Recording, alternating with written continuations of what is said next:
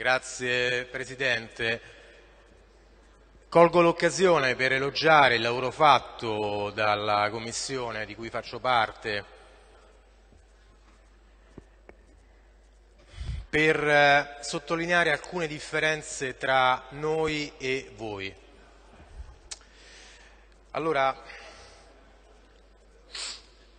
si sta parlando, addirittura adesso si mette in discussione quanto viene svolto in Svizzera per quello che riguarda la democrazia diretta. In Svizzera, ecco, addirittura il cittadino viene, viene informato mandandogli a casa i contenuti di, rispetto ad ogni referendum, e fanno referendum praticamente ogni mese, i contenuti all'interno di un fascicolo in cui vengono spiegate tutte le ragioni del sì e del no, in dettaglio, con tutti i riferimenti normativi, con quello che significa anche rispetto ai benefici, anche economici, ma non solo, con tutti i riferimenti rispetto alle attività virtuose o meno che ogni ragione, ripeto, del sì o, o del no sostanzia. Questo si chiama mettere il cittadino al centro della politica, dargli la possibilità di avere coscienza e consapevolezza di quello che dovrà andare a decidere, come è suo diritto, se veramente vogliamo chiamare uno Stato sovrano rispetto al popolo che governa. Ecco, in, noi siamo invece in una nazione dove voi,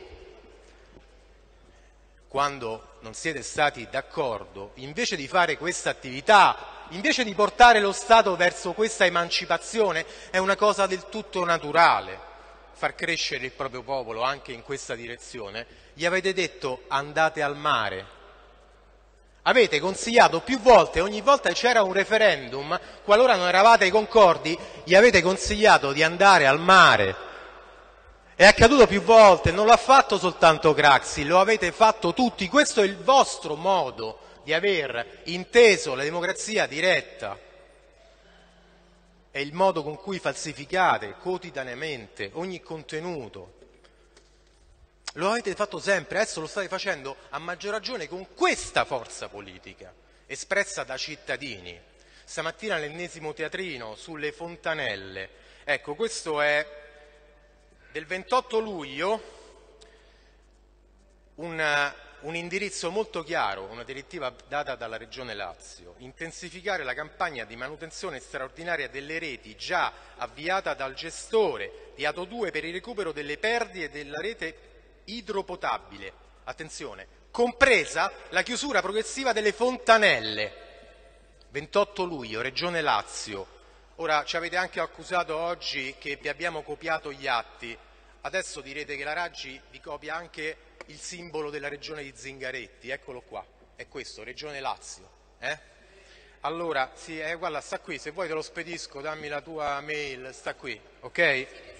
Allora, no, eh, c'entra, perché c'entra, perché voi, è questo il modo con cui informate la cittadinanza, continuamente, ogni giorno, anche il teatrino di oggi sui rifiuti, non volete ammettere che il vostro Presidente della Regione Lazio in cinque anni non ha fatto un piano regionale sui rifiuti nonostante avesse sul groppone una sentenza del TAR, del TAR un, un tribunale amministrativo che entro 180 giorni dal 6 marzo 2016 gli imponeva di adeguare la Regione con una rete integrata di impianti capace di autosostenere, così come è sempre stato fino a tra l'altro, l'articolo 35 dello sblocca Italia del vostro amato Renzi che dà la possibilità limitata di poter conferire i rifiuti, i rifiuti fuori regione. Zingaretti l'ha fatto dal 2013 quando ha chiuso Malagrotta tutti gli anni conferendo i rifiuti di Roma Capitale fuori regione. Adesso la colpa è solo della Raggi quando chiede 15.000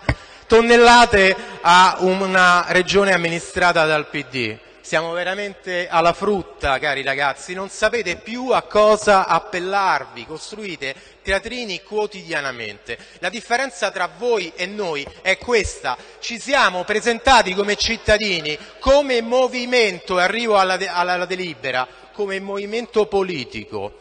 Le, il, le leggi che voi avete costruito ci hanno obbligato, viste le numerose sentenze i contenziosi, a doverci determinare come in maniera strutturata, in una maniera tale che oggi venite a sottolineare il fatto che siamo diventati un partito. In realtà noi siamo quel movimento che eravamo nel 2009, cittadini che entrano nelle istituzioni per consentire ad altri cittadini di fare altrettanto, per consentire durante i cinque anni di mandato, come in questo caso la delibera, a dei cittadini di fare dei referendum propositivi. Oggi è una giornata storica, è la prima volta che succede a Roma. Questa cosa voi non l'avete mai fatta perché vi spaventa, perché nei cinque anni voi avete sempre voluto fare quello che vi pareva, compreso esattamente il contrario di, avete, di quello che avete sempre promesso in ogni campagna elettorale. Ebbene, noi vi stiamo dimostrando che i cittadini piano piano non solo sono, stanno entrando nelle istituzioni, ma adesso fanno in modo di farne entrare sempre di più, con degli atti amministrativi, con una potenza democratica di democrazia diretta talmente dirompente che quello che voi avete visto fino adesso non è niente. Io oggi sono orgoglioso di votare questa delibera che viene da un percorso per cui il sostenitore più, più importante che abbiamo avuto nella nostra forza politica, l'ha citato anche Angelo prima, è già Roberto Casaleggio. Ecco, sono orgoglioso, visto che ci avete detto spesso che noi siamo dei pigiabottoni della Casaleggio, io sono orgoglioso oggi di votare, di pigiare il bottone in conformità a quella che è la mia forza politica rispetto a quello che già Roberto aveva sempre, sempre tenuto come era il primo punto, i cittadini al centro. Se voi aveste fatto nella vostra storia la stessa cosa con i vostri personaggi, tipo Berlinguer, o tipo Stefano Rodotà che siamo stati noi a proporre per fare il Presidente della Repubblica, questo Stato oggi sarebbe un'altra cosa, come questa città sarebbe un'altra cosa. Ecco, questo è quello che voi non volete accettare. Voi avete tradito anche i vostri maestri e ora pretendete che noi tradiamo i nostri. Io credo che voi, da questo punto di vista, quando parlate del Movimento 5 Stelle dovrete, doveste in qualche maniera riflettere un pochino su quello che vi manca per poter riacquistare un po' di consenso da parte dei cittadini, perché nonostante anche il 5 Stelle, i cittadini stanno diventando sempre più informati e voi state perdendo sempre più consenso.